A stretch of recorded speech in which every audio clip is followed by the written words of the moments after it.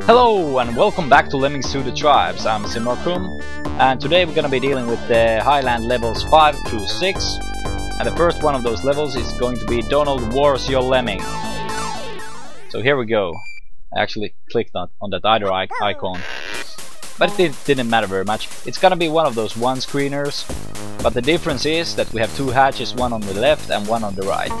And this mechanism here in the in the middle, which is um, the chain controlled by the fan over here. So, first of all, we of course use a lemming. That was a failure. Uh, actually, on our earlier recording, this went very well. But the thing is that I didn't uh, release it because I had wrong resolution on it. Hope this goes well now. Let's give it some more speed. Now let's focus here. Okay, that was pretty good. We didn't even have to have very much speed. Okay, the rest of this level is rather easy. I'm gonna start early with the bridge. So it's gonna be taking more bridges than just uh, two it would normally take. That's too bad, but whatever.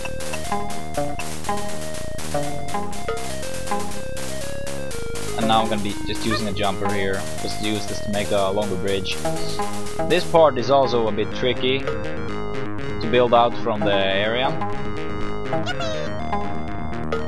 We have only a few bridges and it seems to be going very badly right now. It's impossible for me to know when they are turned in a certain direction. I'm gonna guess on let's see if that one goes gate went well, but we still have this side. And I don't know, they are too packed here.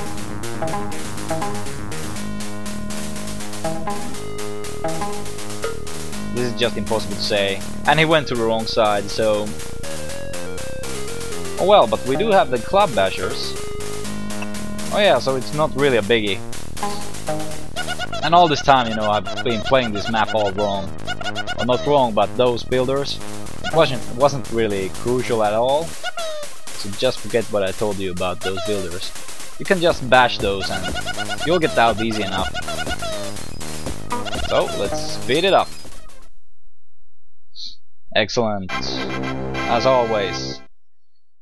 We won't settle with anything less. So, next level. And it's gonna be Brigadoon. We have hang gliders, ballooners, and all the shebang. So let's just proceed. For once this is now a bigger level uh, with some more space. Uh, the same thing is here, we have a second hatch but it's enclosed in uh, this weird texture work and it's not really important for us. It's a very easy level all in all, but you have to do a few things correctly. First of all, we'll begin by using a jumper and after that we use a hang glider and we just hit the wall. And that's what we want to do here.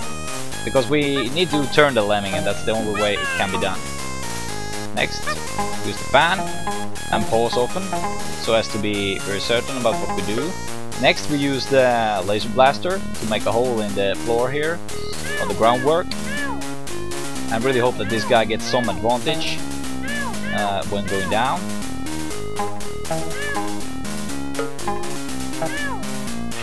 Okay, that was good enough, that was pretty close. We can't let the lemmings go down here, because this is a man-eating plant, or a lemming-eating eating plant, and it would devour anyone who passes by, and that's bad. So, onwards to the next thing, we're gonna use a hang glider. Actually, go somewhere around there. It's the safest way. And let him turn. And then use another roper. Hopefully it goes well. Yes, it did. Next, once again, use uh, another hang glider. Just try to hit this one, because we can really just let him walk. Next, be prepared with the second laser blaster, and let him turn, and use it. And this will release the rest of the lemmings from the other hatch. And everyone will be getting uh, safely to the phone booth of evil. The phone booth of doom. And yeah, a very easy level. for being a 6th level. You have to use both your both of your ropers in these situations here on the left and on the right. You don't have any extras. So don't even bother trying to do anything here. Or maybe if you want to experiment, I'm not telling you you can't do that. So. But this is a very easy way of doing it. So let's just go ahead and fast forward this almost flawless run, except for that one mistake with the lemming. Sometimes goes good and sometimes goes bad, especially with the fan control, the chain and all those things. Alright, so let's have a quick peek on the next level, which is going to be in memory of Mac Agnes. We have only three different tasks here. platformer stackers, jumpers. And it's going to be a bigger level also. Not just a one screener, which you can see already from here. But that's going to be in the next episode, which is going to be, I think it's part um, 35, if this is part 34. So anyway, I'll see you back then. See you guys.